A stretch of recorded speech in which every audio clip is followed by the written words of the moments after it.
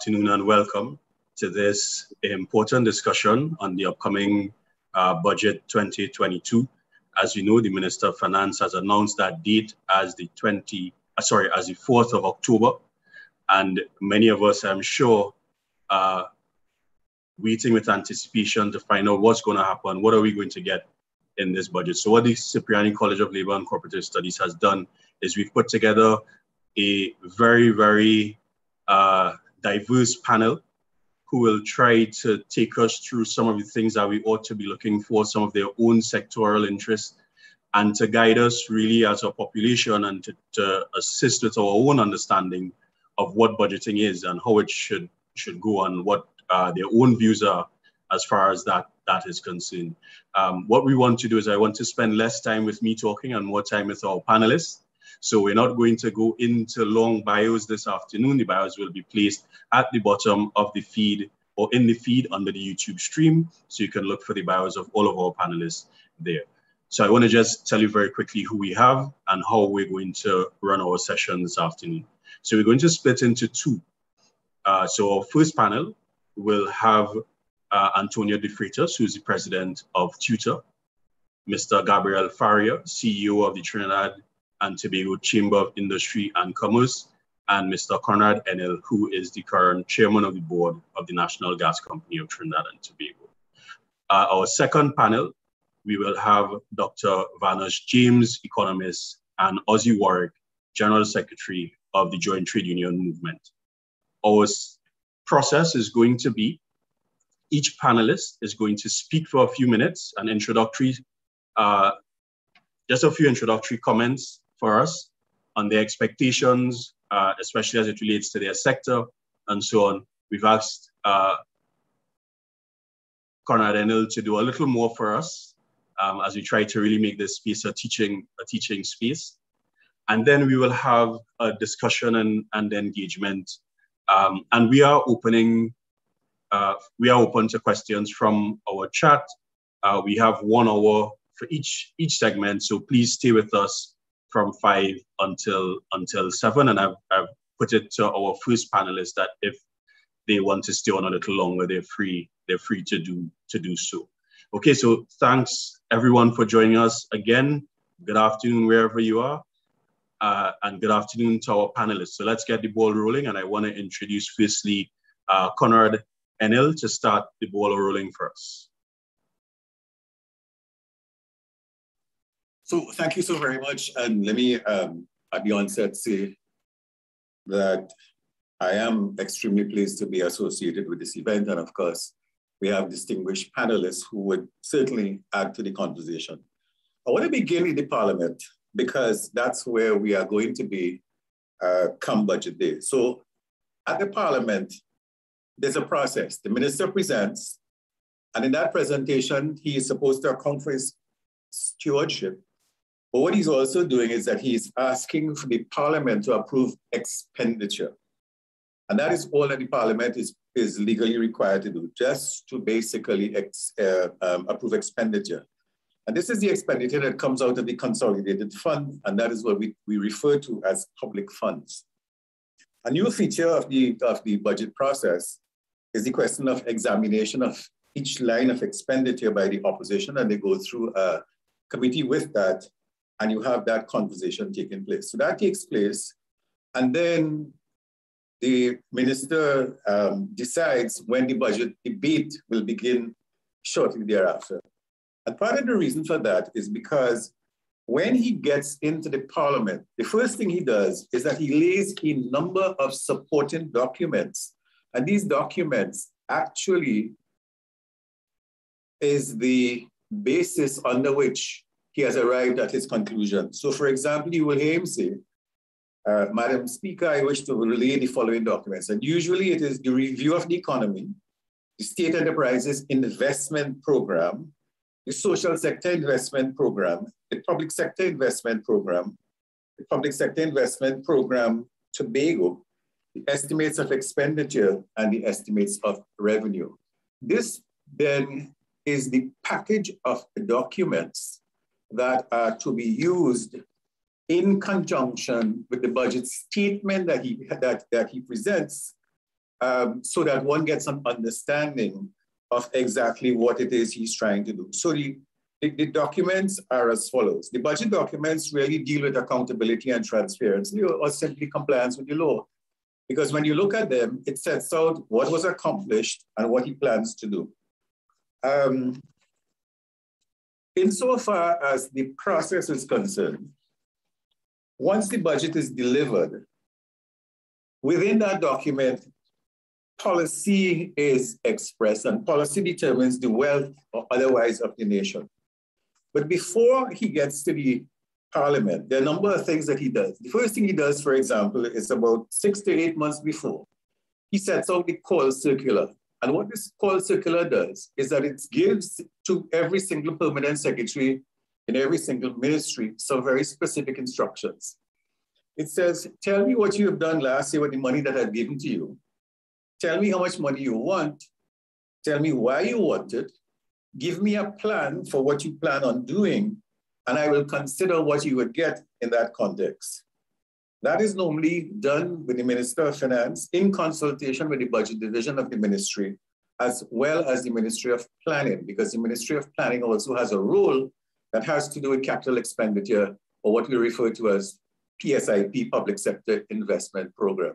There are two levels of expenditure in the budget. One that has to do with recurrent expenditure, that is salaries and wages and running uh, the day-to-day -day operations. And then the one that has to do with capital expenditure, which is to create economic activity or new activity for uh, expansion of the economy.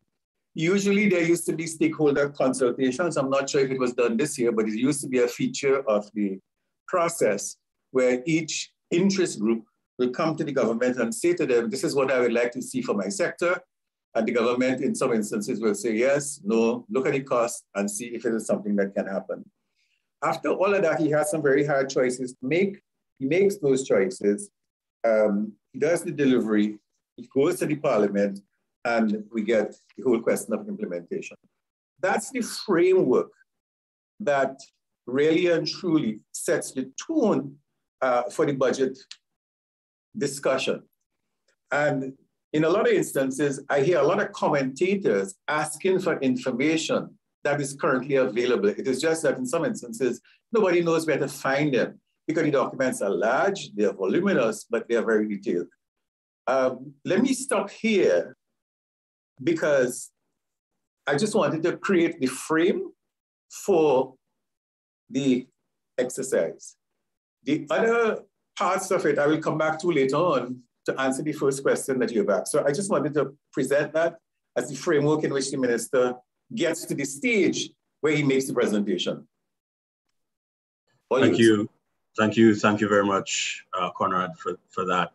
Um, giving us some proper grounding there in terms of simply put, you know, what is what are the mechanical processes involved in this presentation that we're going to hear on Monday. Uh, so I want to move on now very quickly to Gabriel Faria, and the floor is the floor is yours to bring your opening remarks.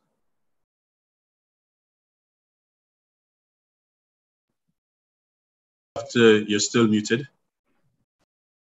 that. Sorry. Thank you. Yeah. So it's always interesting when you sit in a panel like this, because of course each of us view this from a much different perspective. Um, by the way, Conrad, yes, we will ask to submit our recommendations. We have become accustomed, like, like everyone else, that we know when we submit our recommendations, and I've seen Dr. James' recommendations, I've seen everyone's recommendations, we know that what's going to actually happen is, is a little bit different. I think it's important we understand that the budget is a bookkeeping exercise because it, it really it really should sit behind some master strategic plan. And as a I, I grew up in manufacturing over the years, working and, and, and being very heavily involved in exports. And as an example, I just want to give one tiny example. As an example, the government has, has a strategic plan to increase exports and to increase capital investment. However, in the budget, the, the, the, the execution of that doesn't seem to tie back to the strategic part. So that, that's a challenge as an interest group representing the business sector we have always had. I, the other point I'd like to raise, and I'd really like to get feedback from, from the rest of the panel on this, is we've been actually asking the government to move away from cash accounting. And the reason we want to move away from cash accounting, and I'm going to give you a, what I consider one of my excellent examples, is in 2017, I raised the fact that the government owed the private sector $7 billion, $6.2 billion in VAT, a billion dollars in um, in supplier payables and another probably another half a billion dollars in uh, tax refunds. So when those budgets were presented, because of the way the country does its budget, the, the, those figures were not included as expenditure. So part of the reason we're asking for accrual-based accounting rather than cash-based accounting is it will provide a much more accurate picture on our expenses. Just to highlight, that $8 billion that was not paid would have reflected a reduction in eight, of $8 million in expenses. But that being said, those are, so that's some of the things we, we have been asking. I will tell you, we have a number of other areas we've talked about. In this year's budget, we're talking about really supporting the, the, the small and medium-sized businesses. When you look at what's happening with larger businesses, they are doing, they're doing, they have the capital infrastructure to survive. But where we are seeing the greatest challenges, and we use the term fairly broadly, the vulnerable, and vulnerable being businesses and citizens. The, what you are seeing in other parts of the world is the support the, the, their governments have given the population and the business sector has actually resulted in a very strong economic um, environment. Whereas in Trinidad, the support has been lackluster. We think that is crucial. So I, I, will, as we get along, I'll raise some of the other items we have we have discussed. But the, we think the most important thing is to ensure that there is support for that vulnerable sector, both businesses and individuals, and to look at a more accurate method of cash of um, accounting, moving away from cash accounting. That's my um my input. Okay, thank you, thank you very much, and and definitely, um, I think when we get back around to the questions, I'd, I'd want to hear, and I'm sure many of us would want to hear a little more about the uh, challenges that you identified with doing a cash uh, accounting approach to the to the budget, um, and also that important thing of what is the strategic context in which the budget is being is being read because there, uh, I think we in the pre-discussion the point was being made. You know, there's a distinction between the political statement and the actual facts and figures um, that's all right. So, so that has to be determined by something. So definitely, uh, thank you very much for those opening comments. And now uh, we turn to the the lady of the hour, I suppose, is how I can describe our next uh, speaker. Um, we know that the teachers have been engaged in some um, some reflection today. So today we want to hear um, from the president, Antonia De Freitas, and, and how she uh, is planning to reflect on, on this budget that is coming up on Monday, 4th of, of October. So Antonia, the floor is, the floor is yours. Thank you, Akin. Good afternoon to fellow panelists. Good afternoon to viewers and listeners. I just want to piggyback on something that Gabriel said in terms of the strategic plan. Um, we are aware, and as you mentioned, there are two dimensions, political and economic or financial. And I want to tap into the National Development Strategy 2030, which is political in nature, but it's supposed to provide the roadmap for national development in order for Trinidad and Tobago to fulfill the Sustainable Development Goals of United Nations 2030. In that context, then, putting it first of all in the public sector and referring to the call circulars that Conrad spoke about, the PSs have to put on, we as, as the workers and as unions, as sectoral interests, we don't have an idea of what the plans and projections are to fulfill those goals nationally and internationally on a given year because you don't know what level of accountability is being provided for action and non-action. And as I said, we are not part of the planning process. So maybe as we look towards October 4th, the issue of planning and feedback and interaction is something that has to be worked in. I would just want to tap as well into the public sector investment program and the public sector investment program to Tobago with specific reference to education. Last budget, the education sector received the largest allocation. However, the trickle down effect of that, the disbursement of those funds were very, very skewed. A large portion of that allocation had to go to paying arrears to contractors and other service providers that had been unpaid for years. So when you take out that 4 million or so, that's 4 million that could have been used directly channeling into the provision of education services and development. So I would want colleagues to say this for us to consider as we discuss this afternoon. We are looking at education, not just in terms of dollars and cents and expenditure, but also as an investment in our national development, both in terms of human capital development and in terms of building certain bases. The manufacturing sector is fed by skilled personnel many of whom come out of the TechVox stream of the secondary schools. Yet still, the TechVox students, those students doing the CVQ examinations, are some of the students who are most disenfranchised and where the least amount of funding goes towards curriculum development and training and reform. So we perhaps need to break down investment in education into different categories at different levels. Just before we came on the program, as I wrap up the intro, just before we came onto the program, we learned that there was some education professionals at the early childhood care and education level who, having not received words of their contract renewal for so many months, were finally given three-year contracts. Well, mind you, that sector part of the formal teaching service.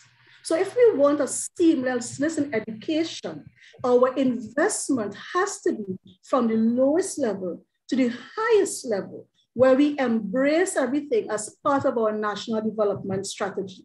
Thank you. Thank you. Thank you very much. And I, I, I could tell you that um, in particular, the connection um, between our 2030 national plan and the, the SDGs um, I am I am 100% sure that we're not very clear on what that means. Um, I mean, as we speak, UNCTAD is going on. The 15th UNCTAD session is taking place in, in Barbados. Um, and I, am, I have not heard any reports in the newspaper here in Trinidad. I have not seen anything coming out from any sector that we're taking part in that. But then we'd see we, we're well on the way to the 2020, 2030 development goals. So, so there's a little contradiction inside inside of there. So as we, I think that we've we've set a good we've set a good platform. I have to say though that um, I have to behave as the moderator because some of these topics are in fact things that I myself have a, a vested interest in. So I have to make sure that I, I, stay in my lane, as they say, and not try to become a fourth panelist uh, in the discussion. So I want to just have us now, perhaps as we continue our conversation, um, I want to ask us a, a, a, specific question now. Um, and this has to do with the idea of consultation with stakeholders. And having been in the trade union movement myself, um, I know that we have many different ideas and concepts of what stakeholder consultation means.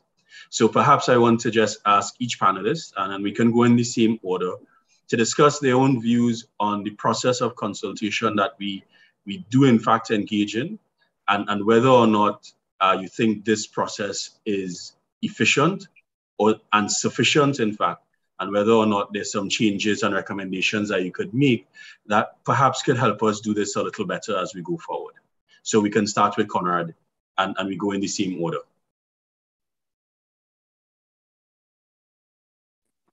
So, so to answer the question, you have to determine from which perspective you're looking at this from.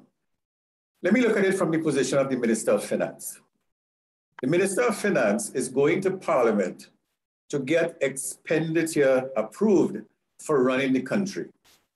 He is doing that through various ministries. So in the case of the Ministry of Education, for example, he would have asked the Ministry of Education to say to him, what do you need for the next 12 months to support a few things?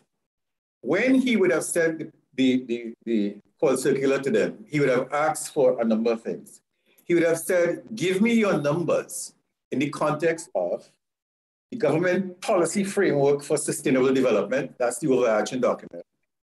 The medium-term policy framework, the national performance framework, the customer service delivery plan, and corporate and business plan. Now, all of that information is available, but it is not available to the public. It is simply available at the level of the ministry. So that's the first piece.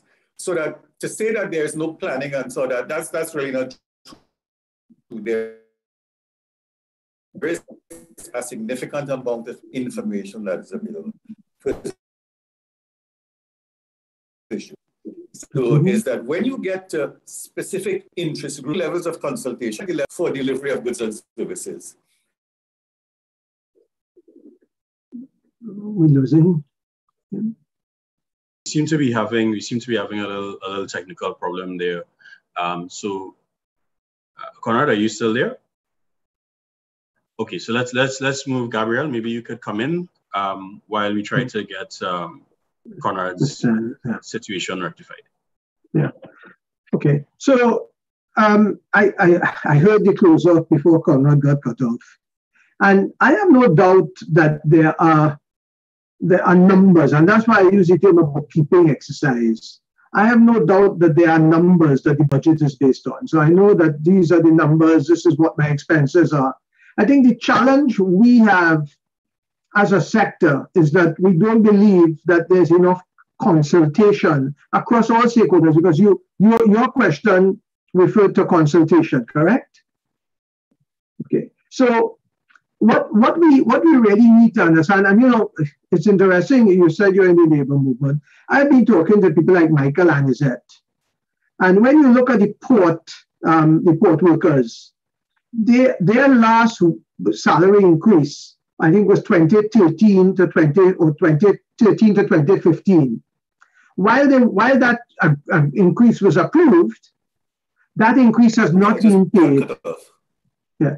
And and no further and no further negotiations are being made. So that that is where I see the lack of consultation, and it comes back to the weakness in the accounting method of cash accounting.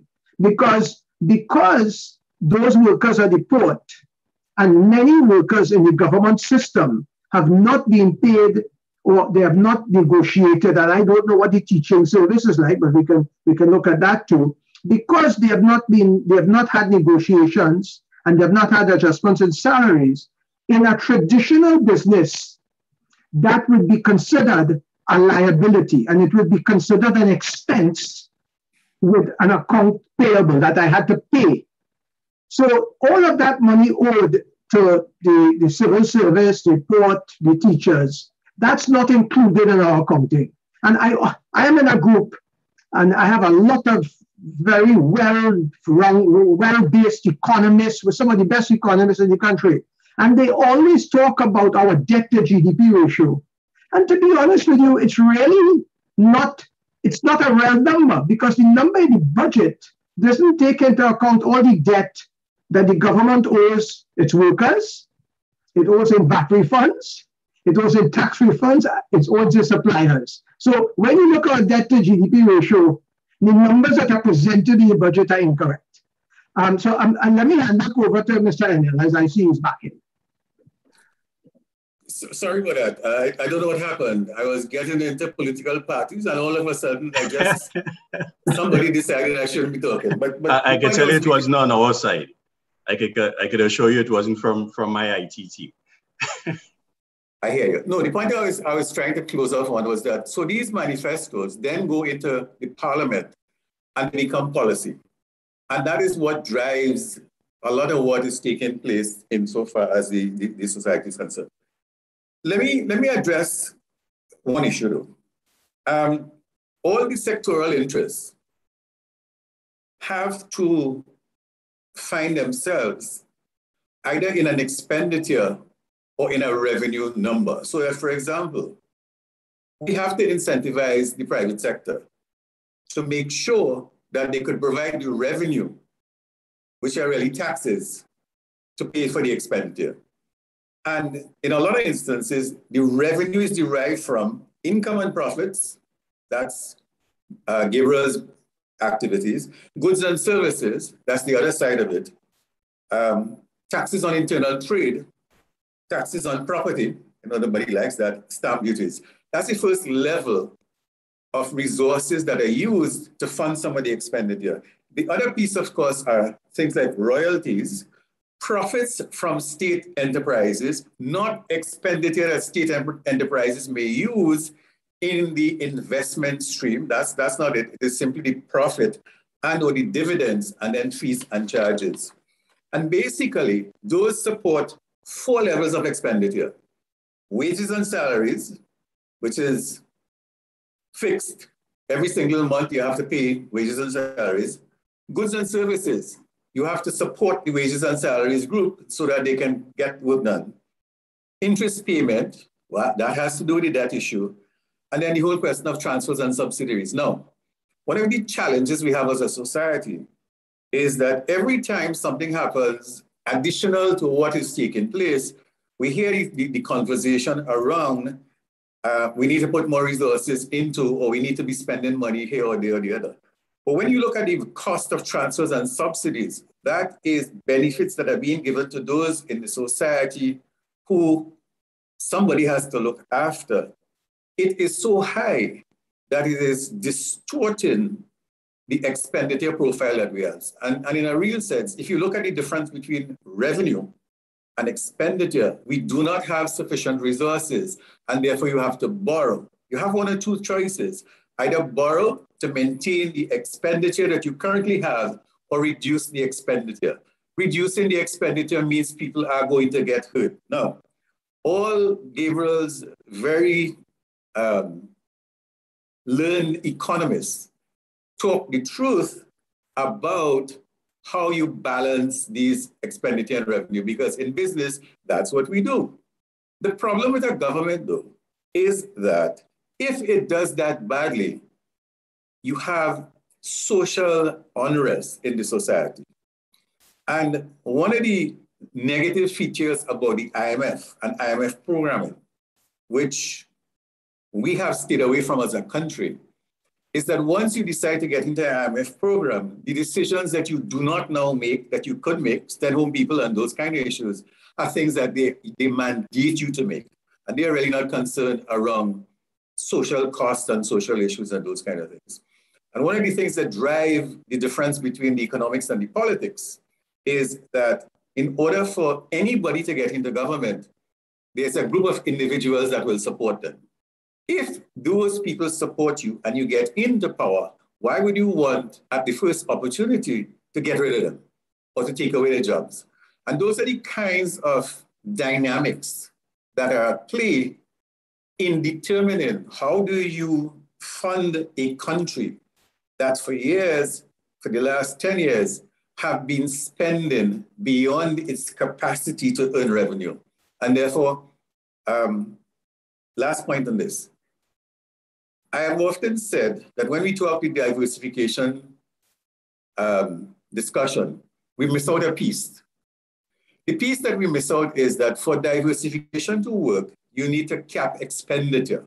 You cannot be in an energy um, revenue situation where your margins are 55% because that's what you tax them anyhow, and you are increasing your expenditure over and above that capacity and expect that you will be able to do something else with the other goods and services. It doesn't work quite that way.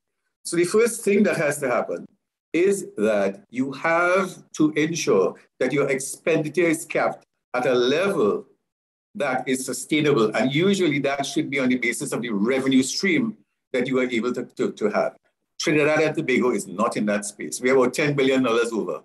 And, and therefore, that's the challenge with bringing new things on board because notwithstanding everything that everybody is asking for, you do not have the money to deal with it unless you decide to cause some individuals who currently enjoy a particular uh, a benefit not to have it anymore.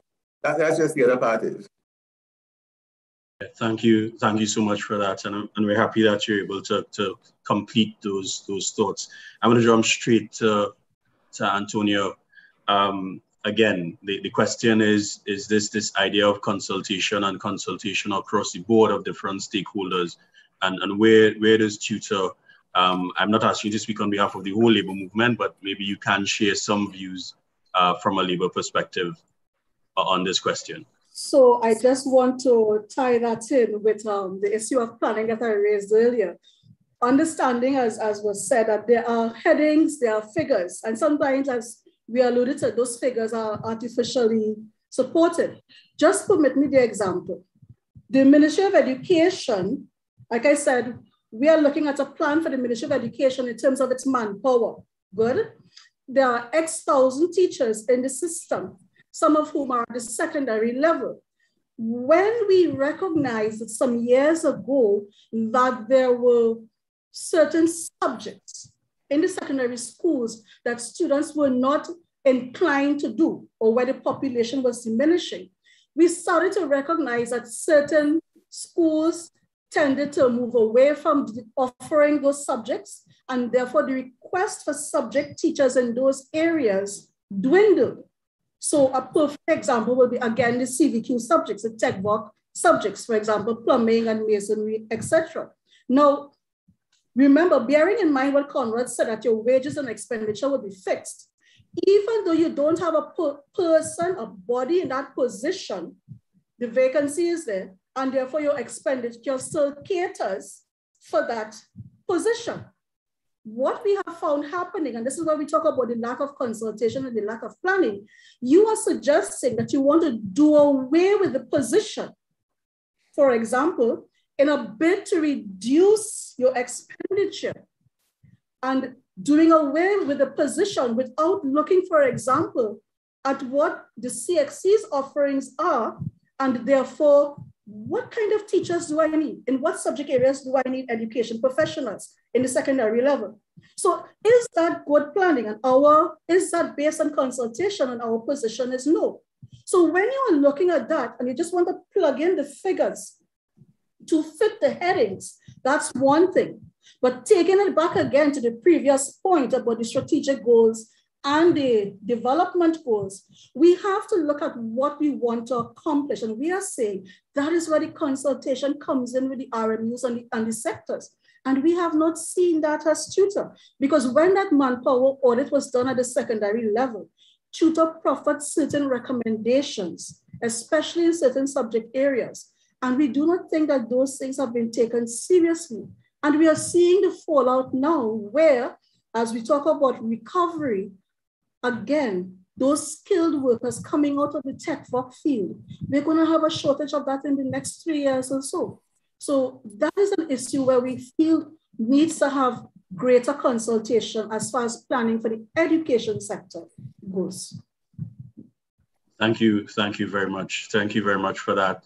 Um, and, and definitely, you know, we're going to have to have um, a lot more of these discussions because obviously uh, giving persons 10 minutes to, to ventilate some of these things is, is clearly not enough time.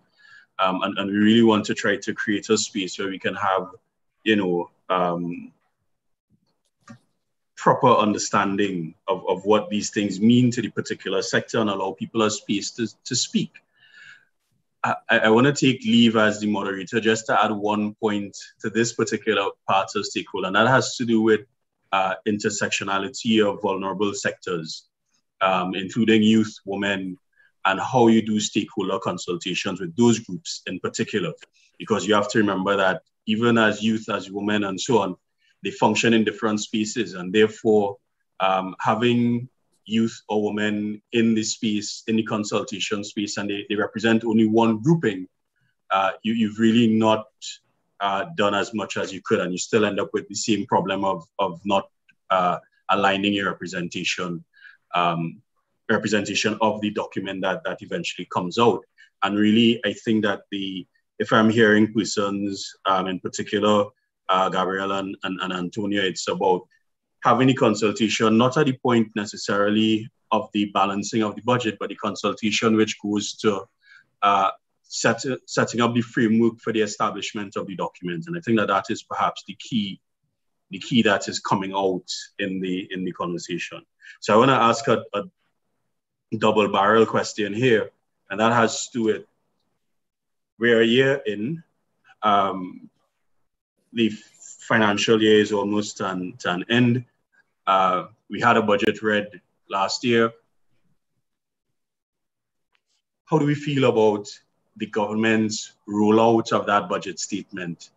Um, how do we feel? Do we think that enough was done? And, and of course, we're operating in a very, very precarious situation with, with COVID 19. But do you think that the budget uh, from the last budget that we've read was able to really respond to some of the challenges that we were presented with? And what do you think needed to be done a little differently? And I, I want to start again with, with Conrad. So it's, it's two parts. Do you think that the budget uh, really responded to the circumstances well? And what do you think should have been done uh, differently? So the, the first thing is that I think, you know, last year was a strange year because you had this abomination called COVID-19 that came in uh, and that created a whole new dynamic for all of us.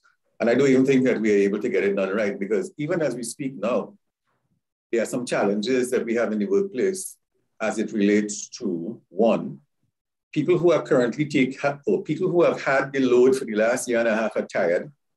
They are they, they really need support. But on the other hand, you cannot bring out people who are unvaccinated and put them in that environment because we've seen what the impact of that is. So we find ourselves in a situation where the rollout of the budget, for example, would have been constrained by the, the availability of individuals within the system to deliver. That's, a, that's, that's new. Um, and, and I think, you know, whether you like it or not, whether you accept it or not, if you ask the question around providing what you think the solution is, but the population in large measure say, no, they don't think so. How do you move beyond that? How do we evaluate that? How do you deal with that in the context of trying to move forward, but recognizing that on the basis of the experiences that you have seen around, if you go in a particular direction, you put everybody at risk. I think, I think from that perspective, I would argue that given the constraints that were available, the best possible job was done. And the results of that we would see when the minister speaks on Monday to talk about what has been accomplished and what has not been accomplished. And, and from where I sit at this point in time, it's difficult to make a judgment without that knowledge. So let me stay there for a time. Okay, thank you. Thank you very much. Uh, Gabriel, same question. Um, remind me the question again, Akins, sorry. So I am asking, uh, given the challenges that we would have faced in the last year, um, what is your view on the rollout of the last budget statement? And, and um, are there things that you think could have been done differently? So, as, as Conrad said, we have to understand that the, the financial year 2021 was an abnormal year as it has been throughout the world. Um, you know, we had reached out early to the, the, the, the government and we had identified, and, and it's interesting because we can learn best practices around the world um, we had we had told the government that if they could do something to create aggregate demand, if they could use some of the funding to drive activity, it would help to numb the impact on the vulnerable businesses and citizens. Unfortunately, that was not done to, at all. In other words, there was there was no money put in to keep those small businesses operating or to, or to very little to, for the vulnerable. No, I mean, businesses got nothing, um, vulnerable citizens got very little. What you're seeing today, and I heard the finance minister say this year that his tax collections were down, his VAT collections were down, but that is the that is the outcome of not putting money into the system. We have to understand that the largest beneficiary of money in the system is the government. And just to clarify, as Conrad said, every time you buy something that's not a basic food, the government gets VAT. Every time a business makes a dollar in profit, the government gets 30%.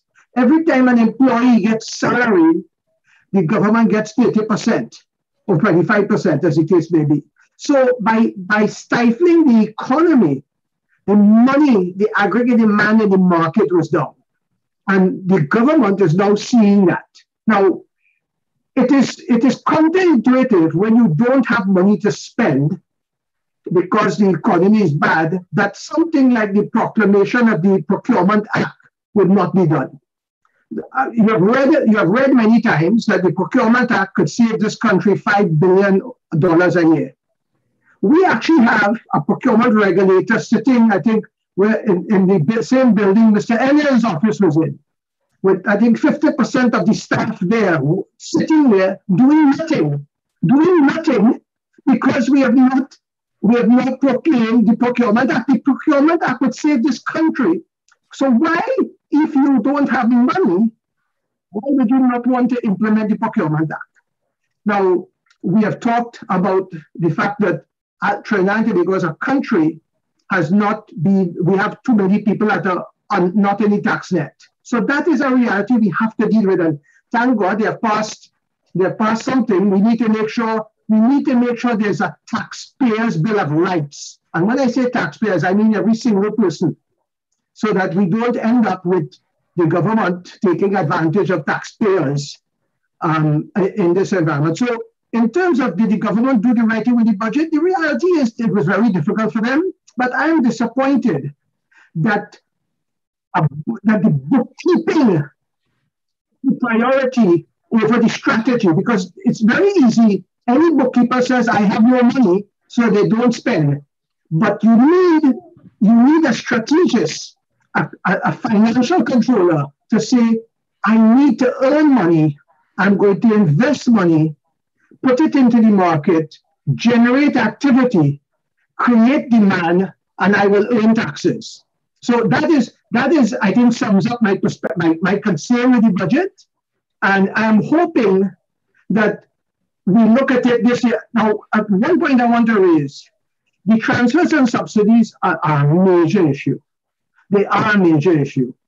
And they are, they are a group of citizens and this ID card or some mechanism to know who are vulnerable This country, in many every country in the world knows. I, I, I have I have a cousin who lives in Canada. The government knows what her salary is and they know that she has to get a rebate on her energy bill because she can't afford to pay the proper rate for energy. But the person who can pay the proper rate for energy pays it. So I agree, these transfers and subsidies are inefficiently used because you are subsidizing the wealthy and the poor. And that I, want to be very clear from a business community, the business community is willing to pay the right rate for water, power, the, the, competitive rate. But because we have an inefficient government mechanism, they can't apply these subsidies where they should be applied. And that is, I think, another gap that the government needs to deal with. Okay, thank you, thank you very can much. I, can, I, can, uh, I, can I just ask Gabriel something? Yes. Gabriel, so you made a no, you made a you made a correct point about the government gets income from the business community, from POI and all that. But if I look at the expenditure that the government has and I looked at the revenue, it really doesn't match. There is a gap. Correct. I guess my question, my question is the other side of the story. Should is, is your view therefore that the government should reduce it, its expenditure rather than borrow to support the current expenditure? Now, the issues around um, efficiency and those kinds of issues in some instances cannot happen in the current construct. And it cannot happen because there is a requirement for legislation and a number of different things. But there's also another requirement. There's a requirement for individuals to change their perspective on what work is and, and the relationship with the a government job. So what would you suggest, you know, as, as, as a way around that, given the fact that you are correct in what you are saying, but there's another side of the story, which is that there is not sufficient of the revenues at this point in time to meet some of the demands that are being even day to day. So I'm glad you asked the question and uh, uh, with, that, with, the, with the panel's um, uh, indulgence. One, I said that the Procurement Act, and it was, it was stated, would save the country $5 billion. So we need to understand that why would you have a procurement regulator in an office on in whatever tower you are there used to be in and not have it operating? That's one. That's one way to save money. You know, the other way to earn money is to is to ensure that the, the population, the population is taxed properly. The, the one thing the Trinidad and Tobago, one thing the Trinidad Tobago Chamber stands for is every business entity, every individual, every politician, everybody needs to pay their tax. That's the law. That's that's that that that's what we have to do. We have to pay our taxes. So collecting, if we collected more taxes and if we save money and created, so we have a heritage of stabilization, but now money, that money is being taken and put into the general fund, but I don't know it's used to to drive activity. As far as I know, it's being used to, to cover expenses. So the opportunity, I believe, is that we the government says we have to drive exports, but every time somebody exports, they have a VAT refund. The government is not paying them their VAT refund. So we are actually having counterintuitive activities that are destroying the activity that the country needs to really transform. Right? That, that's me. But so the practice you are saying is a shortfall in income. I, in, uh, it's too much expenditure. Get the procurement operating. Get tax operating and, and narrow that gap. That's my inputs. Thank you. Thank you very much. Now, I, I want to, I actually want to continue this a little bit, but I want to ask Antonia to come into the conversation. Um, so again, you know, we, we, we're looking at uh, how how do you think the government's last budget has has read? Um, how has it played out in, in the current context? And, and there's a question that I want to ask after to, to all the panelists based on the, the uh, interaction that was just taking place. Well, if I could um, start the interaction first, if, if, I, if I can. Um, Absolutely. I, am listening to what is being said, and, and yes, really and truly, many of us in Trinidad and Tobago have to learn now or have had to learn to stop living champagne lifestyle and more income. So I was saying along those lines. The reality is that as a society, we have to stop looking only to the government for management of expenditure and revenue as a country. We have an individual responsibility as well. Simple things by way of our spending and to take it to education now. Many of us shop online. Oh, we love to shop online. But what is happening there? Isn't, correct me if I'm wrong, gentlemen, isn't that Forex leaving Trinidad and Tobago? Isn't that funds leaving Trinidad and Tobago that could have been better utilized in our small and micro enterprises where we are teaching young people to be entrepreneurs, where we are giving women, especially those who are in vulnerable situations, the opportunities to earn income, and we support those businesses. So incentivizing is not only at the big level with the big companies and middle-sized companies. We need to move now, especially in this recovery period, to the micro and small entrepreneurs and keep the foreign exchange inside here. Also, on the issue of education, we as educators did not see the disbursement of funds allocated by the budget for certain activities in a timely manner. For example, one of the projects that was projected for fiscal year was the provision of MiFi devices to students and to schools to assist connectivity. Whatever the reason, we are only now hearing about that when it was projected to start in the first quarter of the next fiscal year, and that would have helped so many students. However, give Jack his jacket. When you reach the mid-year review, you saw the large injection of funds into the health sector. to improve our capacity to deal with the pandemic situation. But at the end of the day, let us look at education in terms of its contribution to income generation in Trinidad and Tobago. We have a number of us who utilize external education providers for tertiary education. So the fees we pay go outside. We have high quality personnel, not so Akins, in our tertiary institutions who can deliver programs of comparable quality, indigenous to our context, to build Trinidad and Tobago. Let us invest in those. And so, as part of allocation of funds to education, let us look at it in those contexts, please. Um, so, I will side with Conrad and not pass judgment on the rollout, but just to share those perspectives. Thank you. Thank you, thank you very much, and and, and definitely, I want to I want to do two things before we go any further. I want to say to you all that we're definitely going to have a conversation after the budget is read. So I'd hope that a few of you all are available. But more specifically, I think there's some of the issues that we've raised that require some very specific attention. Um, of course, education being where I am now um, is, is a very specific one. The last thing that I want to ask to our panelists, and this this has to do with um, coming out of the conversation, did we miss an opportunity and, and is it too late? Given that the country was had to grind almost to a halt, did we miss an opportunity to hit a reset button at that point to do a few things a little differently? Because when we talk about reduction in expenditure, there was a lot of expenditure, even on a personal level, for a lot of individuals that just disappeared because you, you, your, your activities had been reduced significantly, several things had been reduced, and therefore uh, a lot of expenditure had been, had been reduced significantly.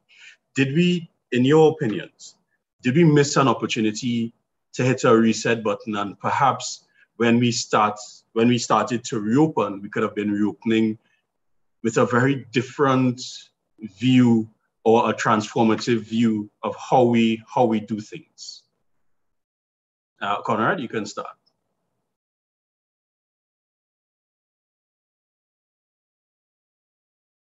You're muted.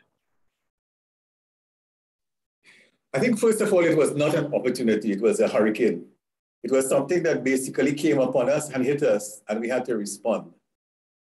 Um, having said that, I think that even today, as we speak, we, we really don't have an opportunity. Now, let me put that a different way a lot of companies have had to change the way in which they did business, interacted, had employees, had meetings, and those kind of things. And I think that those companies who had plans and who had aspirations of being better were in fact able to roll forward somebody thinking that they would have had in the future. So for example, in the NGC group, we had a plan 20 years down the road to get involved in artificial intelligence and a number of things. When this occurred and we suddenly realized that you couldn't do the things that you would normally do, a lot of, a lot of that thinking came to the present. And as a result of that, you were able to run your business successfully and to get back to a state of normal with different arrangements. But that was at an individual level. Uh, in some instances, in some institutions, they did absolutely nothing. They simply sat down and said, okay, let me see when this will, will, will occur. And I'm afraid that, you know, they're not going to be around in the future because um, they've gone too far and the momentum that is required to move forward and the opportunities have just gone. So the answer to your question is I don't think that this was an opportunity that we could have used differently because it fundamentally restricted our ability to do commerce, to support business activity, to support economic activity. But at the same time, you had to ensure in many instances that without that revenue stream, you had to carry the cost because it's people that you're dealing with.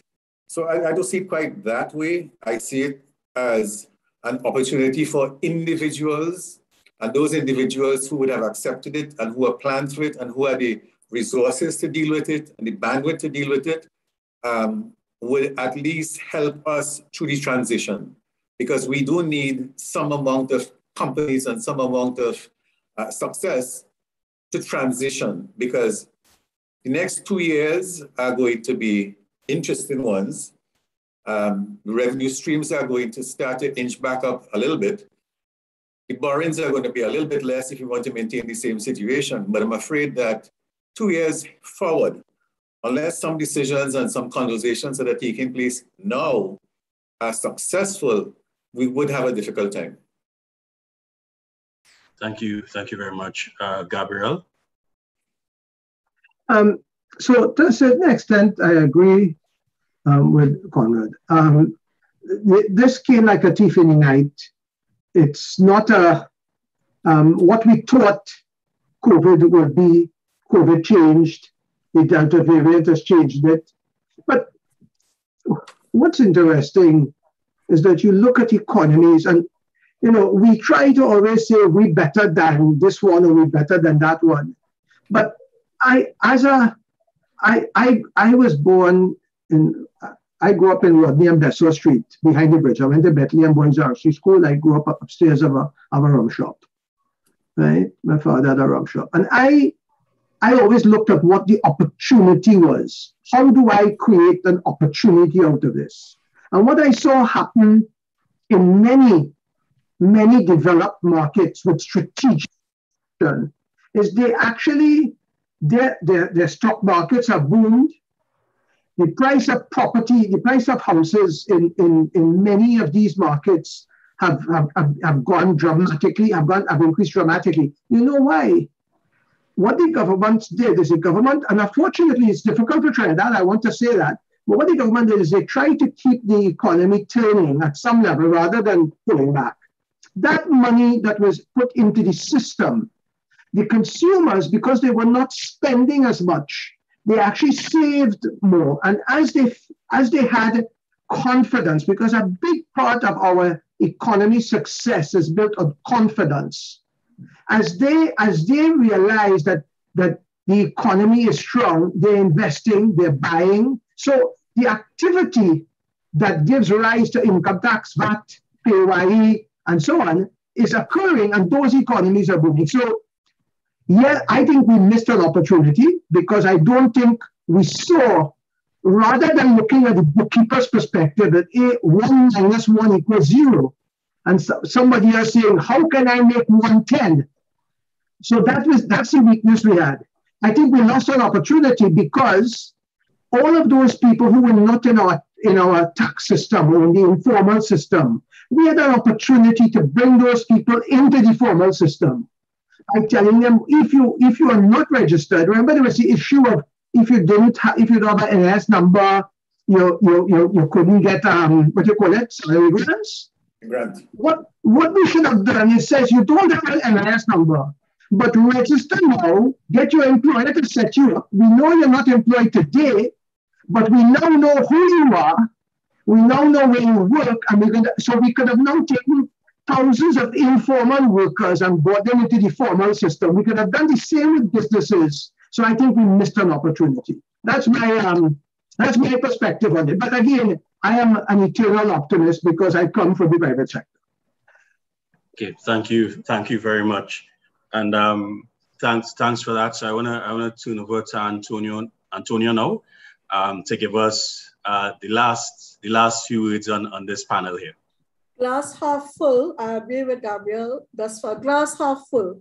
And you always should be looking at it like that, both individually and collectively. Um, yes, we missed an opportunity, just as he said, to bring in those persons and reduce the, the vulnerability of some. However, when you look at other jurisdictions and how those states have recovered or are recovering, you notice that their budgeting or approach to budgeting is no longer using that cash mechanism as cash accounting mechanism. But you're also doing two things. One, you're planning for your next fiscal year, whatever under whatever headings, but you're also developing a resilience plan. And I think that's becoming a word, as you have in the theme there for the forum, that's becoming a word we are using because many of us are conceptualizing how it can be implemented. And we talk about building resilience into the, into the education system, for example, regionally and internationally, as well as locally. Building resilience by having those additional plans would give us a second layer, colleagues, of recovery mechanisms as we go forward. So I would pause there because I know we're running out of time and you're getting a little buzz in your ear, but um, it was a pleasure. Thank you. Thank you very much for those words. And let me just say that um, while we think that this, this challenge was unique to Trinidad and Tobago, um, I have been attending some of those UNCTAD meetings, and let me tell you, it is, it is the same. Um, you're hearing the same discussions from, from many members of civil society, uh, small business members who've been taking part in some of the exercises. And I have no doubt that when the ministerial start next week, um, you'll be hearing some of the same in terms of some of the challenges that uh, all countries had faced. So I want to thank all of you for uh, being with us. I want you, those of you who are viewing online to stay with us. We're just going to take a 30 second break and then come back with our second panel. So I want to thank again Conrad, Gabriel, and Antonia for being with us. As I said, you are free to stay on in the in the second panel if you have if you have the time, um, so that at the end of it, you know, we can we can get some some additional comments from you. So thank thank you again, and and um, I have I do have to mention though um, to Gabriel that my grandmother lived on uh, Rodney Street. So maybe we'll have to talk about that uh, at another time. All right. Okay. So thank you. Thank you so much uh, for your contributions. And we're looking forward now to Vanus James and Ozzi Warwick. So we'll be back with you in just about 30 seconds or so.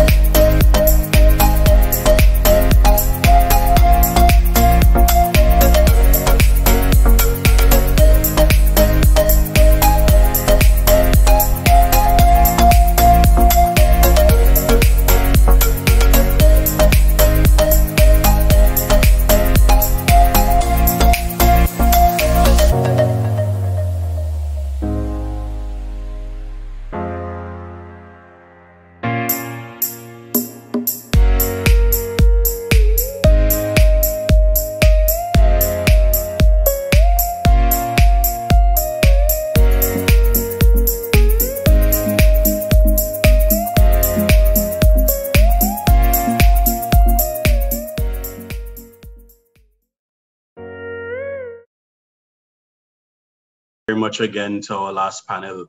And thank you for those of you who are online listening to us and viewing us on Facebook and on YouTube. Uh, thanks for staying with us. So we're into the second part now. And on the panel, we have uh, Ozzi Warwick, General Secretary of the Joint Trade Union Movement, and Dr. Vanus James, uh, economist. And these are two specific, they represent two specific sectors that we felt needed a little more space and a little more time. Uh, so in particular, the question of Tobago and how does Tobago factor in to all of this? Because a lot of times um, we tend to, to treat with Tobago as a, um, a by the way, as a, oh yes, we have Tobago as well. So it, it's important for us to always, when we're doing these things, ensure that we treat with the question of Tobago as a partner um, in this and not, you know, a little brother that we, we sometimes want to forget. So I want to hand over now. Um, so I'll ask Ozzi to start off with a few words and uh, a brief introduction, five, six minutes, and then I'll, I'll hand over to Vanus to, to do his part as well. So Ozzi, floor is yours. Yes, and thank you very much, um, Akins, for having me um, on this very important pre-budget discussion. And I did was able to actually listen to your uh, the first panel, and I thought that that uh, really was quite interesting. It raised quite a number of interesting points. Akins, I want to start off by saying that this country and the people of Trinidad and Tobago cannot bear any more burden on, of economic adjustment. They cannot bear any more neoliberal policies by this government. It is just too much to bear. I, I want to start off there because you see, when we're having a discussion about budgets, I have been around for, for some time, and as you know, OWT hosts a post budget forum. So every year it's a, a tangle over revenue and expenditure. In other words, you hear the same buzzwords. You hear budget deficit, you hear that the um, budget is pegged to the price of oil and gas, and then you hear that transfers and subsidies is a problem. Is that is always coined as a problem, but nobody gets into the details of it. And you know what is left out, Akins? The, the people themselves. A budget is not an abstract thing, and a, and a, a budget is not some myth, mythological construct somewhere in skies. It is it has to do with a person's ability to buy, to live, to consume, to survive. In other words, it is about the reproduction of daily life. And I want that to be central because, from our point of view, this particular budget, 2021 to 2022, must be a people centered budget, especially in light of the current hardship, Akins, that people are experience, that people have been experiencing, vast majority of people. So I am very concerned that we get into uh, some sort of debate over how do we uh, deal with the budget deficit and use lingo and language and terminology that does not in any way um, allow ordinary people who have to survive, who have to think of how do they reproduce their daily life, what does that mean for them? And that brings me um, to this concept of participatory budgeting. It's something we have always been advocating for because it allows citizens whose, whose life, who the reproduction of their daily life, which is impacted by this budget, um, can be involved in the decision making around how funds are allocated. How, how can uh, we build the productive capacity of our country? How can we build the industrial capacity of our country, the technological capacity of our country? And you see, with participatory budgeting, you really allow the opportunity for the country to achieve social justice as a foundation. In other words, Akins, this, you see this particular budget, we are at a crossroads here, and here's the crossroads. It has to do with the concept of the role of the state.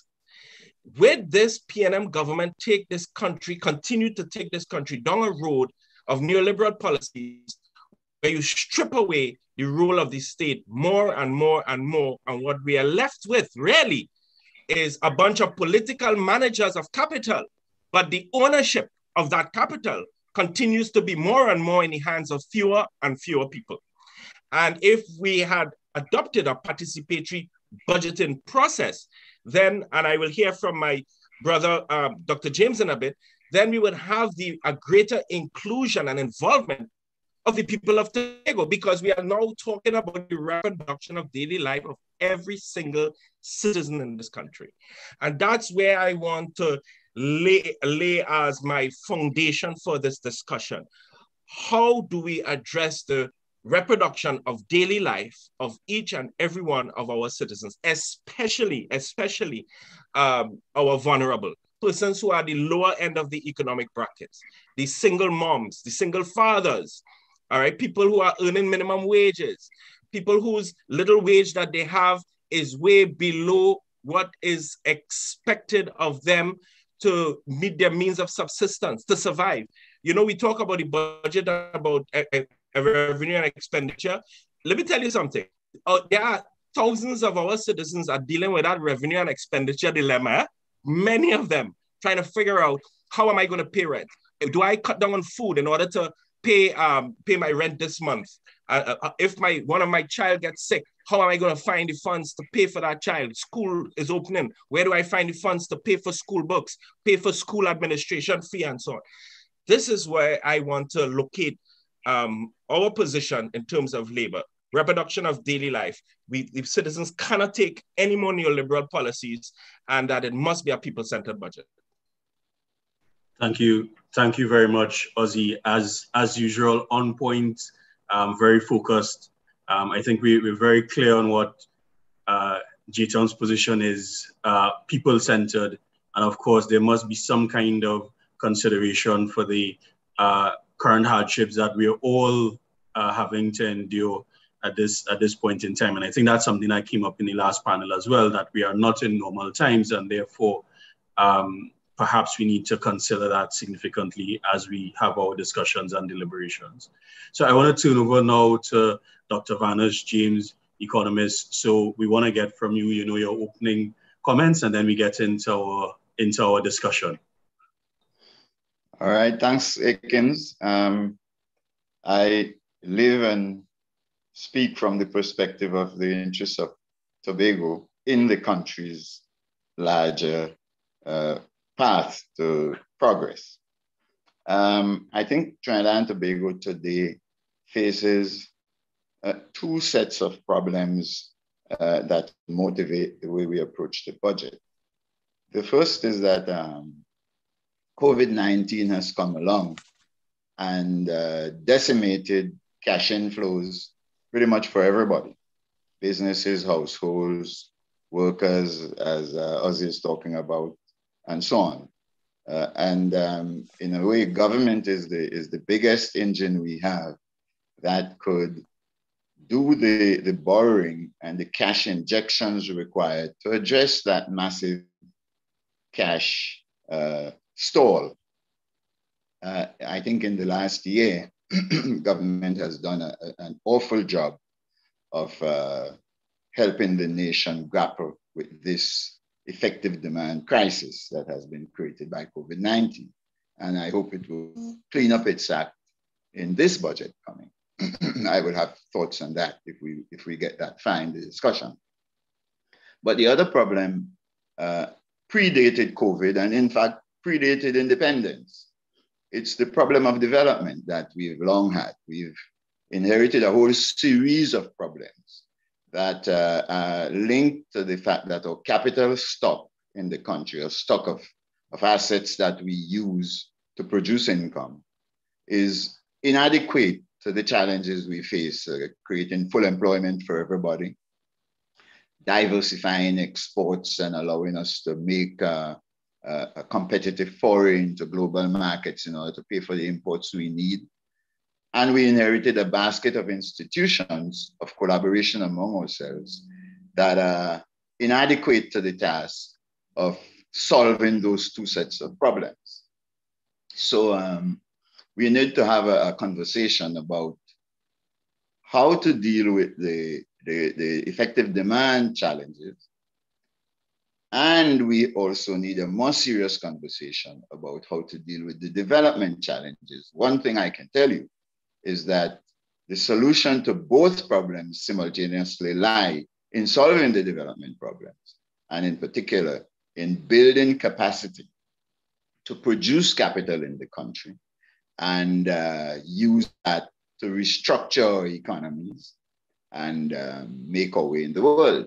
It is in that sense that Tobago has a stake in the country. Uh, over the decades since independence, uh, Tobago's potential to contribute to that transformation of the national economy has been uh, neglected. There are economies in the Caribbean that do not rely on oil and gas that outperform Trinidad and Tobago just because of the type of approach they have to solving the development problem. Tobago is a key to adopting that alternative approach, but the country isn't designed really as we have it now to exploit that potential that Tobago really sits on. Uh, in order to exploit the Tobago potential, unfortunately perhaps, we're going to have to reform the way we govern to get what Ozzi is calling participatory budgeting. We can't govern with the type of government we have in place today and get what, Ozzi wants to, to get us participatory budgeting. Uh, as it stands now, what the government does is it calls on those who maybe funds its, its, its political activities and so on, call on friends, call on people they know, and uh, they listen to those people and get their suggestions, and, they, and that passes for consultations on the budget. But what we really need is to have a parliamentary design in which the non-executive members of the parliament outnumber by far the executive members of the parliament, and they can run budgetary committees, oversight committees of one sort or the other, and call the public in when, uh, as a parliament, when the budget time comes around, to hear from the public, maybe three, four months before the budget is laid uh, by, by the executive, uh, to hear from the public what its priorities are from the business community, from the households, from whoever wants to come and speak to the parliament and instruct the parliament as to what we want to do. That's representative government at its best. We are not designed with representative government. We're designed with a an executive style uh, authoritarian government, and therefore you really don't have a framework in which you could get the participatory budgeting we need in order to exploit properly the potential of, uh, say, an economy like Tobago to transform the national economy and respond to problems like the COVID demand crisis adequately. Uh, let me just give you two quick examples of economies that exist in the region currently now that do not have this enormous COVID uh, driven crisis, uh, notwithstanding the fact that they do not rely on oil Yes. One of them is Bermuda, and the other is the Cayman Islands. Bermuda produces 117,000 US dollars per person. Trinidad and Tobago produces 18,000. Cayman Islands produces 91,000. Trinidad and Tobago produces 18,000. Tobago produces 4.2, $4,200 per capita every year. Now, in order to move in the direction in which you could use the potential of a Tobago in order to uh, get us up to the, the 91 and 100,000 uh, US dollars per capita annually, you're going to have to reform the foundations of government, provide for the equal status and self-determination that we need in Tobago to exploit our potential for development, and, um, and in that context, transform the way the national economy works so that we are not as dependent on oil and gas as uh, we currently are. And if we did that, we would then find ourselves in a position where the revenues could be generated to underwrite the, the transformation, to validate the transformation, where the savings could be generated internally to underwrite the transformation of the economy over time and uh, the, the, the, particular form of the crisis that we face today, we would not face either from a development standpoint or from a cash flow effective demand standpoint. So that's the context in which I think we ought to be having a serious discussion about the way Tobago fits into the national development landscape and the national uh, opportunity to deal with crises like COVID, like the 2009 fiscal crisis, uh, financial crisis, and stuff like that. Okay, thank you. Uh, thank you. Thank you very much for that, for those words. Um, so Ozzi, uh, do we do we want to do this? is, I really want to have more of a discussion than a. Um, I think you saw what was happening in the last in the last panel.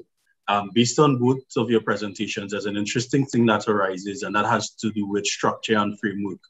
Um, I know that the joint trade union movement um, several years ago had put forward an alternative plan for development called LEAP. So I, I want you perhaps, Ozzi, to identify um, some of the key things that, that, that the labor movement had pointed to in terms of approaching the question of development from a Trinidad and Tobago level that um, Dr. James was talking about. Uh, how has the trade union movement uh, treated this question of an alternative development path for Trinidad and Tobago? Yeah. No, I want to just go back to something Dr. James said, and I don't, I, because he said something that was very important, and I don't want the, I don't want it to slip the audience.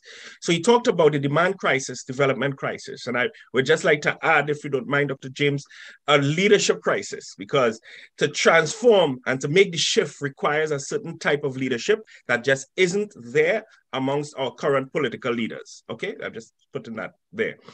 But you, mentioned the question of the demand crisis. And I, am going to tell you why that is very important and link it back to the Labor's Economic Alternative Plan, which would have been developed as far back as 2016. You see, after World War II, the global economy had focused on building demand. So it focused on the demand side of the equation. And this led to what we could call a, a post World War um, social settlement, where you would have strong people's institutions, um, workers would have certain amount of rights, etc. All right, and then of course that gave rise further to the civil rights movement, etc., so that you can have, in addition to workers' rights, some uh, political rights, civic rights, etc. So there was a heavy focus around the demand side of the equation. However, with the in the in the late 80s, or throughout the, the 80s really, with, with Reagan and, and, and Thatcher, there was this shift to the supply side of the equation. And in making that shift to the supply side of the equation, there was an attempt to, in effect, really um, roll back the gains that would have ensured that people, citizens, would have had at least some resources to reproduce their daily life. Okay, but that but that focus on the supply side led to several economic crises. One was mentioned by Dr. James, the uh, 2009 uh, crisis. I'm saying this to suggest that the Labor's economic alternative plan is suggesting that, listen, we need at this point in time to go back to the idea of the demand side. Okay, how do we ensure that we have strong people's institutions, not just trade unions? Of course, I represent trade unions, so I will say trade unions, but I'm talking about credit unions as well. And I'm talking about finding other um, innovative institute or, or structures of and institutions or, or, ways of organizing people so that, that there's this focus on that demand side. And in doing that, one of the things that, that labor came up with in LEAP was the idea of an industrial development fund because we understood that the our country uh, cannot go down the line of focusing on supply and not build our industrial capacity, build our technological capacity.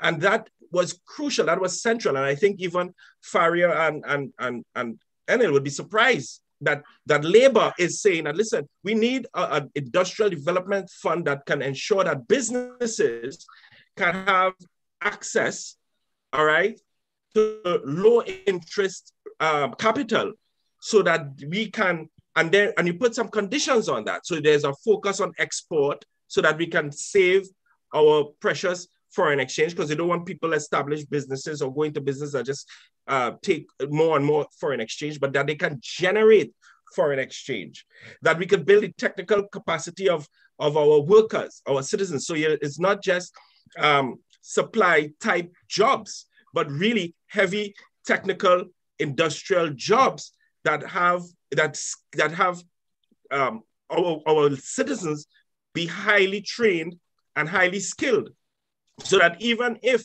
we have to use that skill set of our citizens, even um, as, as exports, we could do that. So the point I'm making is that Labor's economic alternative plan was all about building the industrial capacity of the country. Now, what has happened since we submitted that in 2016? We have seen the country lose more and more its productive capacity. You know, we lost a, a, a plant, a manufacturing plant in Unilever to produce, uh, which used to produce household items. We've lost the capacity to produce our fuel. We have plants in, in Point Lisas, they are closing down. So in, it's not just in energy, but in manufacturing as well. And so we have not been able uh, to really harness the full uh, capacity of our citizens to be able to have the country focus on that demand side. And that what that is what LEAP was was about. LEAP was about how do we ensure that we can generate, we can produce uh, things, not just import things. Because uh, if you focus on just supply, I mean, at some point, I believe that that is what led has led to these huge budget deficits, this re, um, misalignment all right. But if you are, if we are able to focus on building productive capacity, then you realign the thing. And I believe that that also deals with the question of our development crisis and how do we how do we see development and how do we understand development as but not just in isolation, but as part of this wider Caribbean society that we exist in. So I just thought I'd share at the heart. I mean, LEAP included a number of other things, but I think one of the things that was really crucial was the establishment of the Industrial Development Fund by, because what was required there was mobilizing the liquidity within the system, you know. And if we would have done it properly, and unfortunately, you see, the governance, our governance is so poor and so bankrupt. I think that is that it, it doesn't help because you see, if it had been done in a particular way, then it would have been attractive for our for local private investments. Okay, but as we, uh, you know, in Trinidad and Tobago, you know how it goes. I, I, come back to that question of leadership crisis because all of that can only be driven by astute, visionary leadership, which just yeah. is not there. Yeah, thanks, thanks, thanks a lot for that, for that, Ozzi. Um, so I, I want to get um, Vanus in on this because one of the things that I think uh, came out even in the last conversation that it is, but is part of the, the collective narrative, is that some of the challenges we're facing are because of COVID. Um, but in your introduction, you, you pointed to a deeper systemic, systemic problem that was only showed up by COVID. So I want you to perhaps give us some clearer examples when you talk about reorienting the developmental model for Tobago and how this could benefit uh, the, the, the, the uh, generation capacity of, of Tobago. Well, since Ozzi is in the conversation too, let me also connect my answer to what he just said. No matter how much you're able to grow demand and uh, solve, say, the problems created by COVID, you'll get to a point where if your capital stock is too small and too inadequately designed, you will not be able to fully employ your labor force. And people will leave in droves. The country has one of the highest brain drains. Tobago has the highest brain drain in the world. And Trinidad and Tobago has a high one. Jamaica and so on all across the Caribbean, you have this problem. That's because no matter the level of effective demand that you have, even if you could spin the money supply sufficiently to uh, fully employ the existing stock of capital, you will have a problem. Your export capacity would still be inadequate. Your capacity to innovate would still be inadequate. Your capacity to compete in the global marketplace would still be inadequate. And so the problem underlying COVID that predated COVID is, in fact, a capacity building issue. That's the way you're going to have to solve that problem. Now, the question is, of course, how do you build that capacity? So I would agree with Ozzi that you're going to have to be talking a lot about industrial restructuring. But it, what does that mean? One of the experiences of Point Lisas and one of the generic experiences of the industrialization program across the Caribbean in my lifetime is that not all forms of, well, first of all, the engine of diversification, productivity growth, and development is really capital production, not manufacturing. Manufacturing is only relevant in the way Lord Kaldor meant, because you can produce physical capital with the manufacturing sector. But we have other forms of capacities that we use to produce output. The knowledge and skills of the workers Ozzi represents is the single most important component of technology. And uh, we can show mathematically that uh, when you lay out models of economies like ours, the, the ratio of knowledge, skills, and self-confidence of workers to the capital contributed by capitalists must be one to one if the economy is to operate with optimal technologies. Now, how do you get that? You're going to have to build capacity to produce knowledge, skills, and self-confidence, to produce those forms of uh, financial capacity, financial capital, and so on. Those forms of capital we can produce. We can't compete with the world in making manufactured goods and services and so on. But we can compete if we put our minds to it in making knowledge, skills, and self-confidence in building adequate healthcare systems. We've proven to the world already that we're good in the creative industries, which I spent a career studying for the World Intellectual Property Organization, and so on. The general point I'm making is there are forms of capital that what we are, what economists and, and, the labor movement would tend to want to call human capital, for example. There are forms of capital that we can produce, but we must be able to and put our minds to producing one form or another if we are going to be able to build viable economies in Trinidad and Tobago and the rest of the Caribbean for that matter. That's what is exemplified by the fact that Cuba can now put four vaccines on the global marketplace.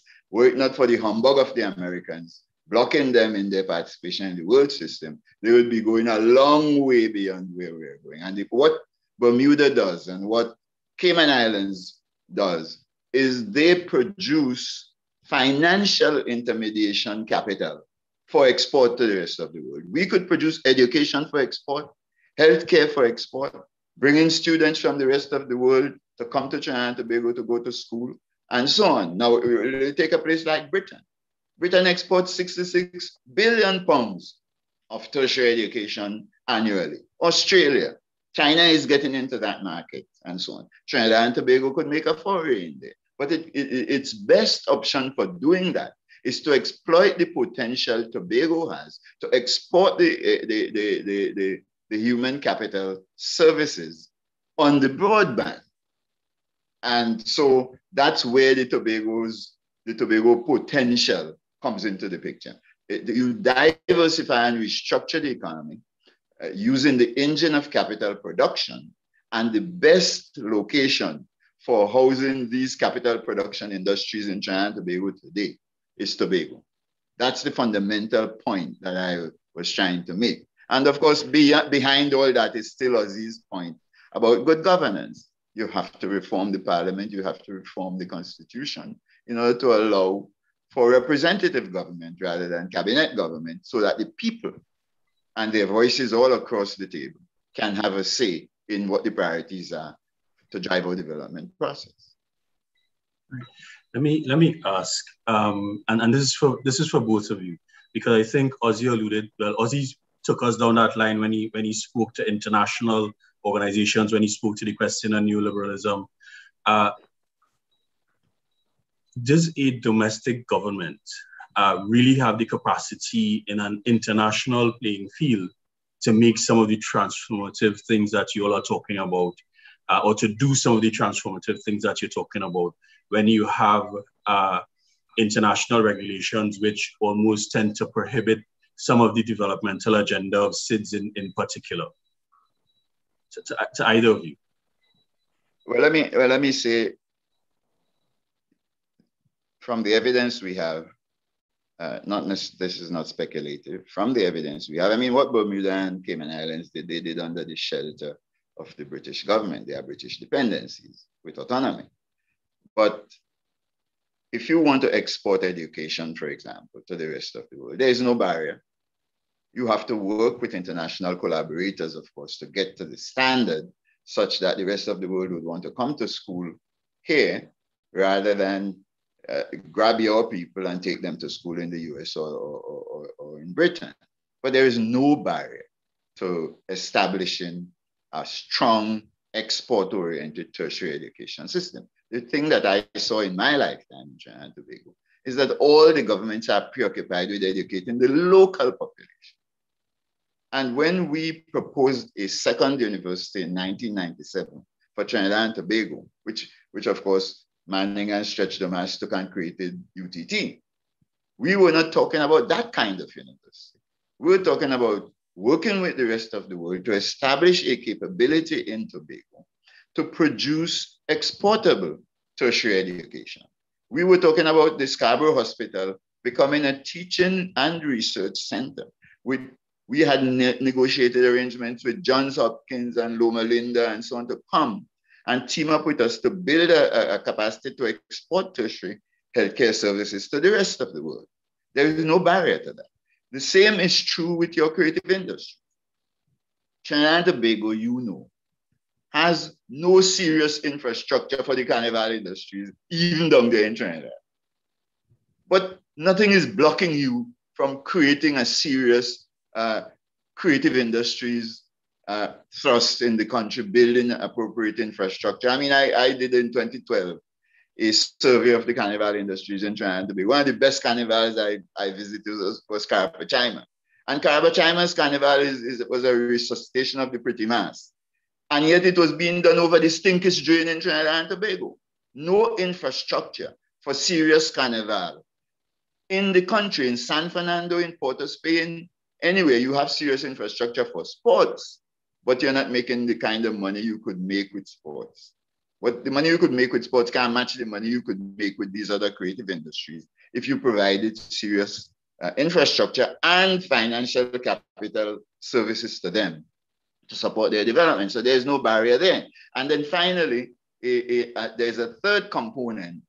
Uh, if, if, you look at what the Cayman Islands is doing, 80% of its uh, stock of housing for tourism is in 10 bedroom and 12 bedroom A-class facilities of the kind we were proposing to develop in Tobago. You could produce housing services for export. That's what's anchoring what Airbnb is doing in the world today.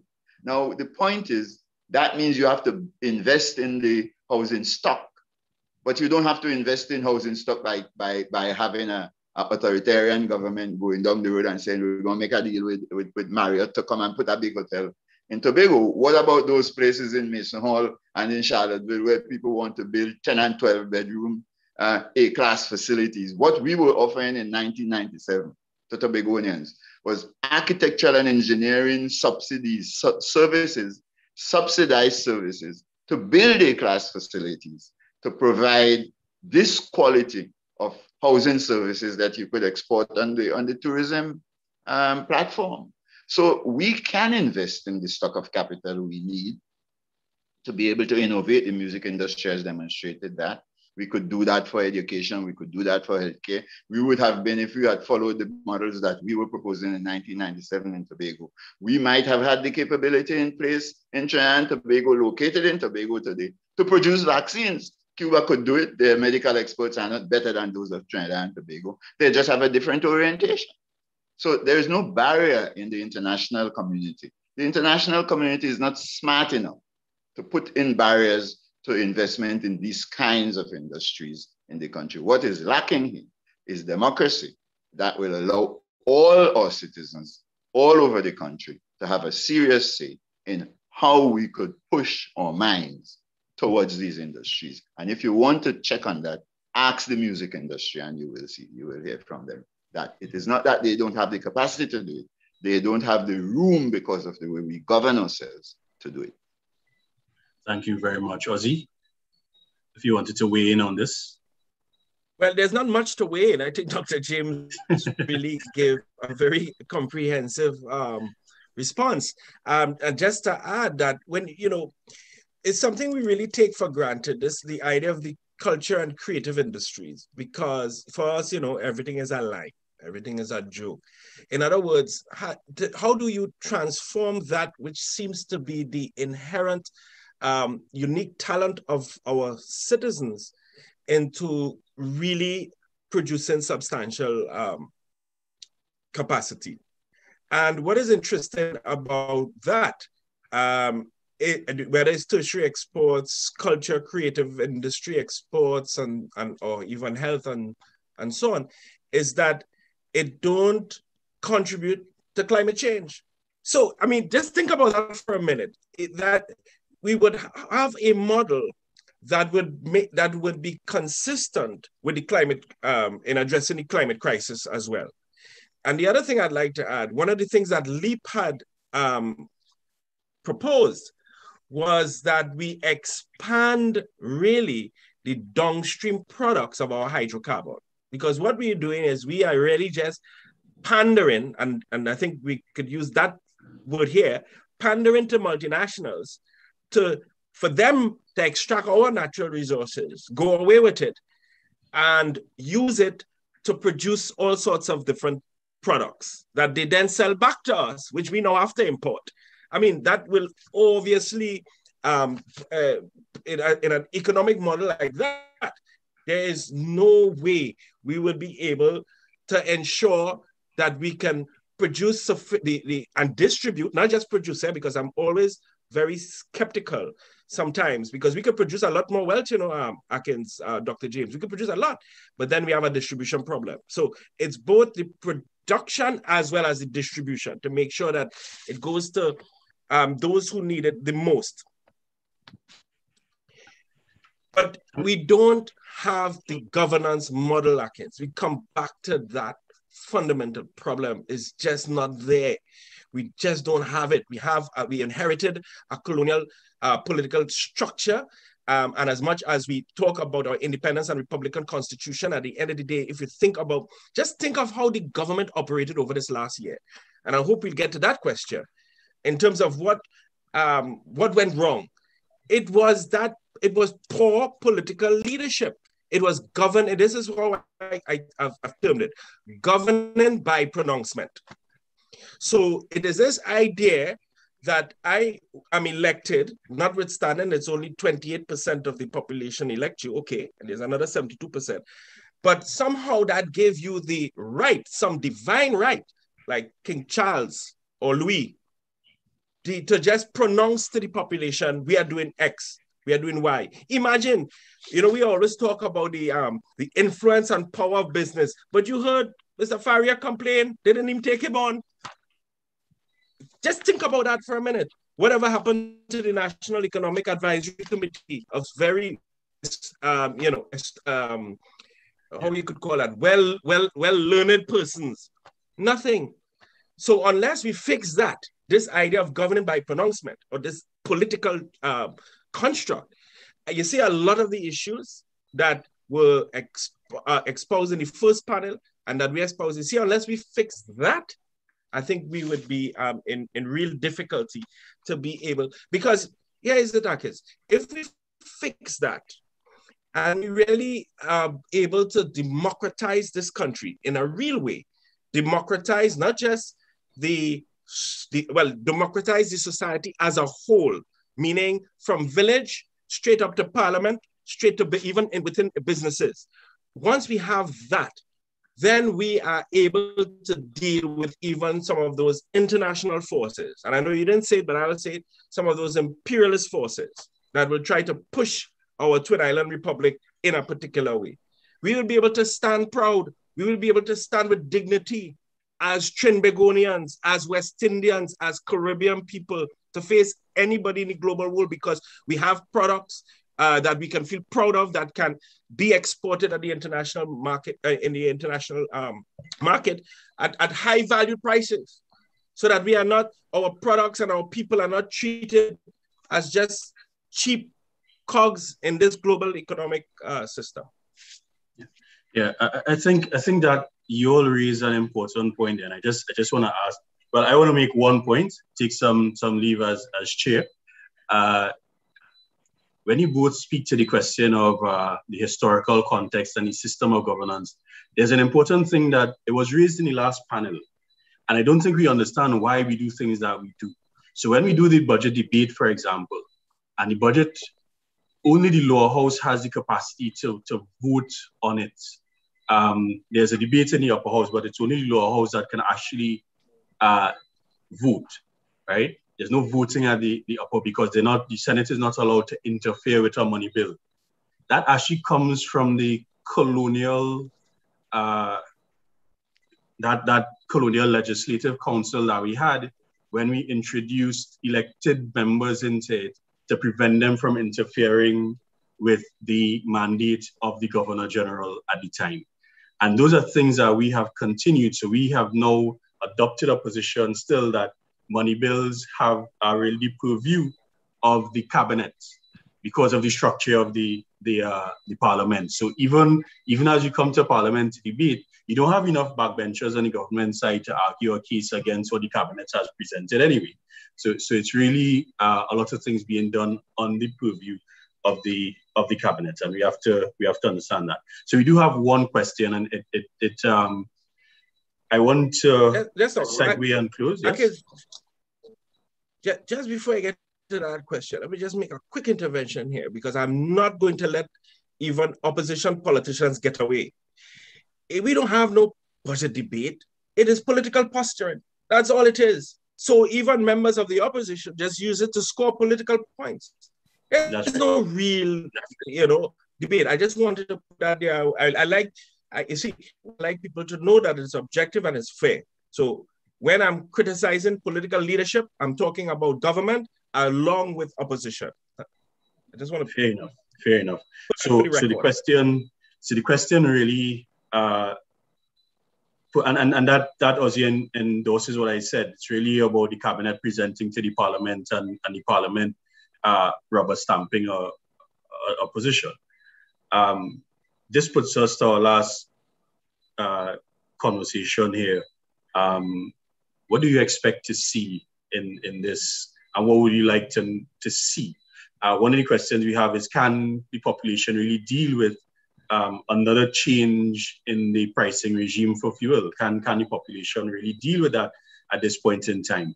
Right. So, in the context of that question, adding to that question, um, what are some of the things that you think really should be central to this presentation that's coming up on, on Monday? Well, let me let me first jump in and agree with the general direction of Ozzi's comments as it relates to good governance, and to point out that all subsequent questions, including the question you asked the uh, Akins, um, can be answered in the context of fundamental reforms of the uh, governance model that we use.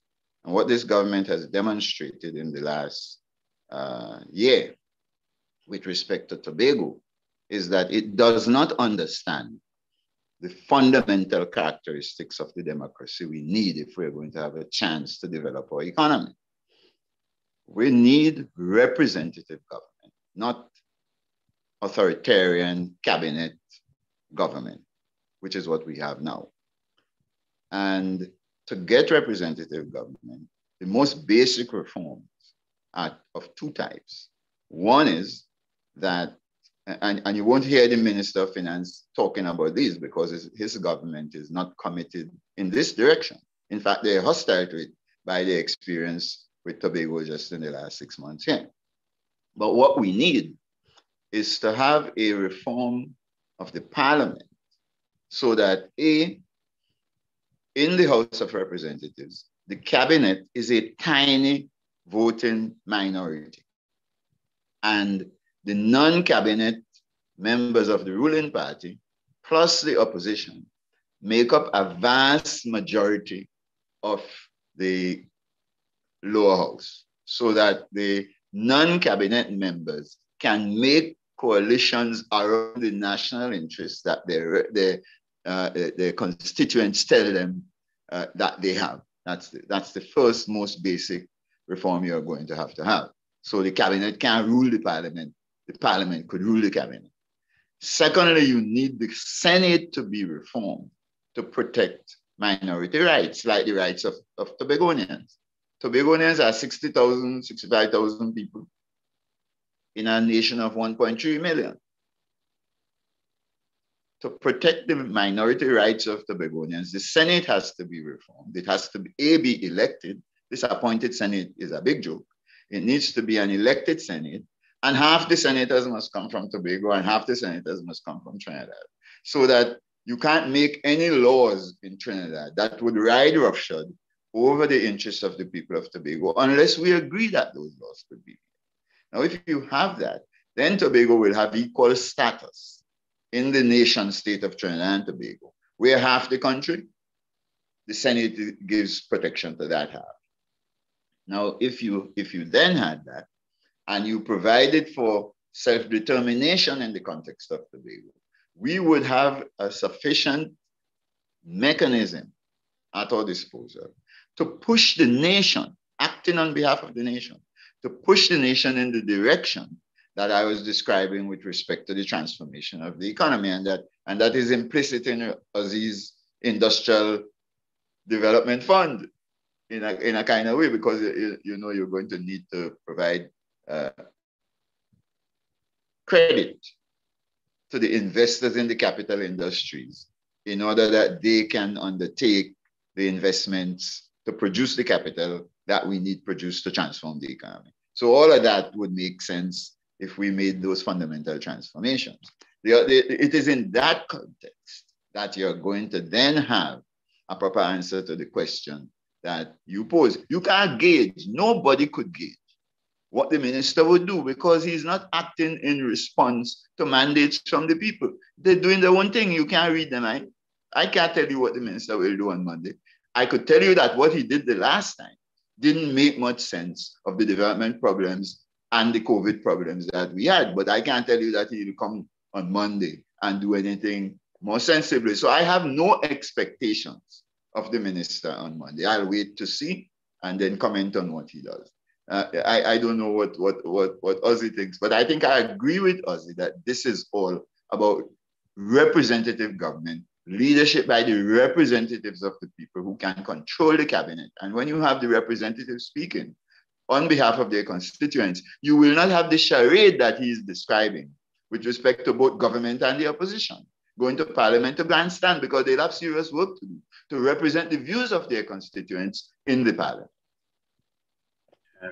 Fantastic. Ozzi, um, I'm giving you the floor for the last five minutes there to just give us the, the closing comments as, as, as we end what I think was a fantastic uh, round of discussions.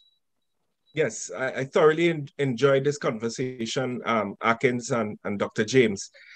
Let me answer it this way, right? Uh, because, you know, uh, you know, this remind me of when I was a child, how my parents used to gather around the radio on budget day with a lot of anxiety. To be honest, they got around the budget, the radio, to hear the budget with anxiety and fear. I remember that. And I remember at the end of it, the despair, the despair that was on the face of my mother and my father. And I went through that for so many years. And I think that is exactly what is going to happen on Monday that people are going to gather around, well, not necessarily their radio, but they now have TV or their phones or whatever, with fear and anxiety, with no sense of hope. And at the end of that three grueling hours, it will be despair. They will not even feel that in the response to the budget, the opposition will mean anything to the reproduction of their daily life. So what and I really I I want to end where I start because that's the part that concerns me the most. What are people, what are the collective society expected? We have been beaten even before COVID, eh? even before COVID. Then COVID beat us even more. We have no sense of certainty anymore in the future. We have no idea come after if by Christmas, having the budget being read, fuel prices would have increased. I am not sure if T and TEC, my electricity bill is going to go up. My rent is going to go up. My water rates is going to go up. I'm not sure. But my employer is telling me, listen, things real difficult now. You know, we might have to lay off. How am I going to continue? Where if they open back up the schools, I still study. Well, how I finding the seventy dollars to pay the school bus to send my child to school? This is the thing that bothers me the most. That in 2021, as a population, having gone through slavery, indentureship, colonialism, with all the technological advancements that has happened over the last 20 years, that at the end of the day, Akins Vidale, on Monday, we are going to be listening with fear and anxiety, with no sense of hope, no sense of certainty for the future. We have no idea what kind of Trinidad and Tobago we are going to have come the end of 2022. And that is my fear. Now, what do I expect?